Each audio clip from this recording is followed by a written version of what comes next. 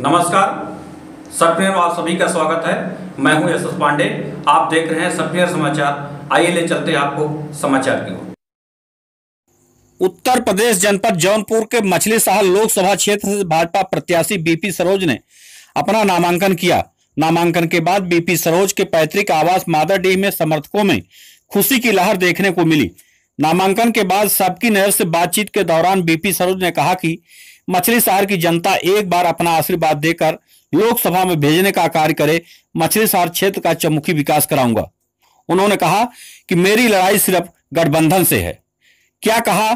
सबकी नज़र से बातचीत के दौरान बीपी सरोज ने, आप खुद सुन लीजिए। सबकी नज़र डिजिटल टीम के साथ सर्वेश तिवारी की खास रिपोर्ट।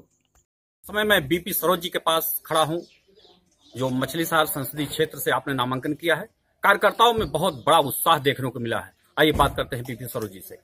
जी बहुत भीषण टक्कर है देखिए ये तो हमारे भारतीय जनता पार्टी के कार्यकर्ता हैं इतने उत्साहित हैं वो टक्कर तो है ही है क्योंकि गठबंधन है सामने तो लेकिन इनका उत्साह उमंग इतना ज़्यादा बढ़ा हुआ है कि वो गठबंधन कोई काम नहीं करेगा। किससे है लड़ाई गठबंधन से है और किससे है? हमारी लड़ाई और किससे हो ही सकती है। लड़ाई हमारा जो प्रतिद्वंदी मैं अपने सामने मान रहा हूँ कांग्रेस को नहीं मान रहा हूँ अदर पार्टी को नहीं मान रहा हूँ।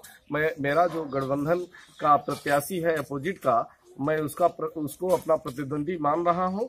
लेकिन हमारे लोगों में भारतीय जनता पार्टी के लोगों में इतना उत्साह उमंग है कि आपको जब परिणाम आएगा तो दिखेगा।